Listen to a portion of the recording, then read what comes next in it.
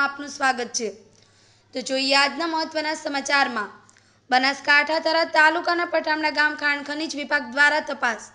ગામના જાગૃત નાગરિક ભાણાભાઈ ઠાકોર દ્વારા ગામમાં થતી મોટા પ્રમાણમાં ખનીજ ચોરીની કરાઈ હતી લેખિત રજૂઆત. જિલ્લા ખાણ અને ખનીજ વિભાગ દ્વારા પઠામણા ગામે તપાસ ચાલુ કરાઈ. અગાઉ થરાદ તાલુકાના કેટલાક ગામોમાં ખનીજના મોટા પ્રમાણમાં ચોરી થયેલી છે, જેને લઈ ખનીજ વિભાગ દ્વારા તપાસ કરવામાં આવી.